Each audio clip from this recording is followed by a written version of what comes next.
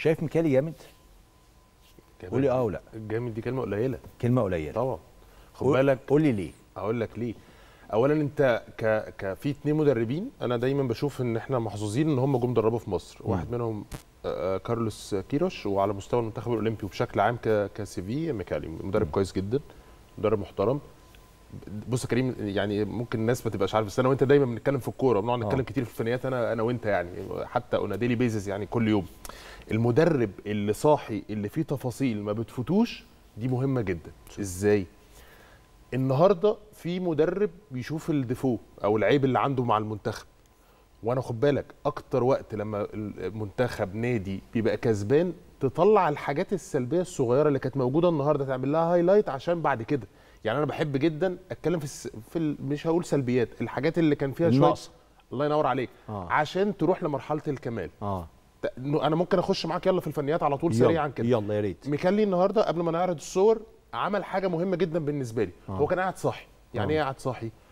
أنا من أول الشوط الأولاني وإحنا قاعدين والراجل قاعد بيتفرج شفنا إن في défaut أو عيب عند الحتة بتاع كريم الدبيس. صح. مسؤول عنها كريم الدبيس ومسؤول عنها إبراهيم عادل في الرده مم. إن منتخب إسبانيا كان بيعمل حاجتين وعلى فكرة اتنقلت الشوط تاني هشرحها إزاي؟ إن كان بيعمل خلينا نشرحها بالصور. دي أول واحدة خالص وبحيي النني لأن النني أنا في رأيي منع اللي هي بي- بيسموها ما قبل الهدف منع الكره دي. هنا دايما كان المنظر إنك بتشوف ثلاثة على المنتخب الإسباني بيعملوا overload يا شباب ناحية اليمين ويشتغلوا على كريم كريم الدبيس. عندنا مشكلتين في الظاهرين إن بيسيب القلب في أربعة ما ينفعش تعمل كده وتروح على الخط عشان تعمل تقفل العرضية.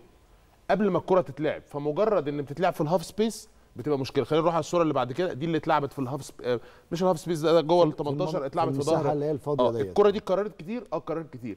الميزة بقى إن كان على طول أنت كنت بتعمل عملية transition كويس جدا. طيب كانت في كرة تانية في نص الملعب. هي دي المشكلتين اللي كانوا عندك النهارده الأظهرة ونص الملعب. بص هنا التمركز بتاع نص الملعب كانت في دقيقه 17 يا كريم ويا شهاب. هنا منتخب المصري حاول إنه يروح يضغط بعدد زيادة على المنتخب الإسباني دي الكرة اللي جت في العرض يا كريم. اتلعبت في ظهر المنتخب الإسباني الرده بتاعتنا طبعا التحول أفضل حاجة. التحول المنتخب الإسباني والكرة دي خلصت بالكرة اللي في العارضة. حتى حاول يوقفها أحمد نبيل آه، آه، كوكا وعلى فكرة عمل مباراة عظيمة صح. في مركز الظهير الأيسر. صح. وخلصت بالكره العرضية. هنا المشاكل الراجل شايفها. عملت إيه؟ على قد ما قدرت. وقفت كريم الدبيس. رجعت إبراهيم عادل. خليت أحمد نبيل كوكا يمين ناحية الشمال يقفل الحتة دي لغاية لما أشوف لها حل بين الشوطين. الشوط الثاني الوضع اتغير. المشكلة إن راحت اتنقلت لك عارف أنت ال- الوضع اتغير بس الشوط الثاني لما حطيت كوكا كمان برافو عليك الشمال وحطيت بس محمود في صابر مثل بيقول. لك إيه؟ ما هو إحنا في مشكلتين النهارده كانوا على المنتخب المصري حتة في الحتة الهجومية والحته الدفاعية. المشكلتين دول ميكالي بيحاول يعالج فيهم. عارف ال- اللي هي الحته بتاعت المسرحيه بتاعت سمير غانم جيت عدلت الجاكيت البنطلون ضرب. هي نفس الفكرة. ناحية اليمين بص اقف بس هنا ما تروحش للصورة اللي بعد كده. أحمد عيد عمل إيه يا كريم؟ أنا رايح. على الهاف هقفل الهاف. لا في أربعة ما انت ما تعملش كده. ال half هو اللي يرجع وأنت الله ينور عليك. رحل. هيجي لك واحد من نص ملعب بص نني عمل إيه؟ نني راح برضو هو ال- اللي راح. يقفل. برافو عليك. لكن الطبيعي يا كريم إن ال back right هتفضل في الحتة دي جنب ال third back. أنت كأنك third back ثالث في الكره لغاية لما تخلص. هو روح اللي ينزل مكان ال back روح بعد كده على الصورة اللي بعد كده. انت. ناحية وهجي لك لغاية لما نقفل بيها للجول. نني هنا قفل والحمد لله ان هي خلينا نمشي الصور بقى بعد كده. فانت عندك مشكلة يا كريم ناحية الأظهرة كوكا قفلها لك ضبة بمفتاح ومحمد وبنزول صابر كمان قفل معاه الحتة دي بشكل كويس وإبراهيم عادل اللي عارف يرجع. خلينا نمشي يا شباب الصورة بعد إذنكم. ده ال ال ال لا هنا نقف بقى.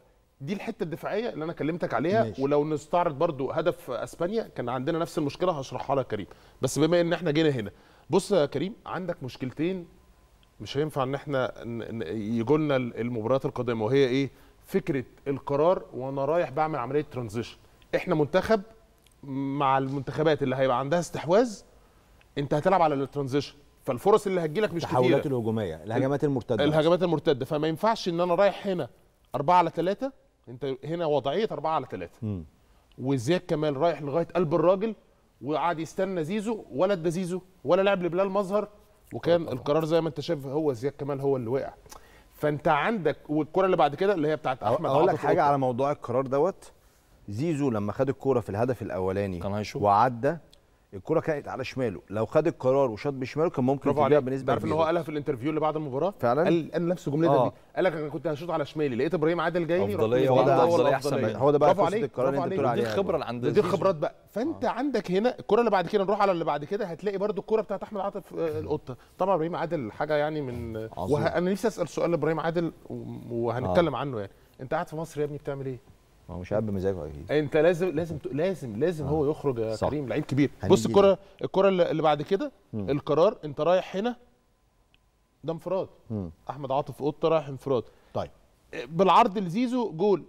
ماشي. عندك مشكلة في القرار لازم الراجل يشتغل عليها بقى عظيم.